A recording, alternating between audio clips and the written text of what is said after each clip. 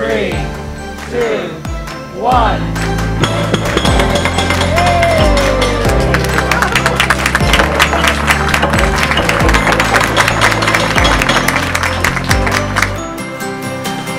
Good morning, everyone. It's great to see such a big turnout here for this joyous occasion. There is, of course, no greater city than the city of New York. The investment in the center and the surrounding landscape will have a powerful and positive impact on the Harlem and East Harlem communities.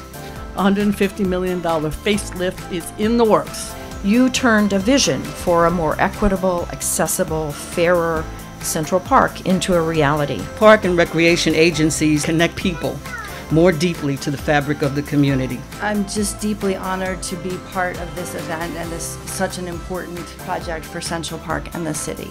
We're thrilled to see the investment in the northern section of the park and the new Harlem Meer Center, which will be environmentally sustainable, fully accessible, and open year round to all of us who use this iconic New York City resource. People love and need the park for the exact reason it was created to be the opposite of the city, allowing them to connect with nature and by extension to their own humanity and each other.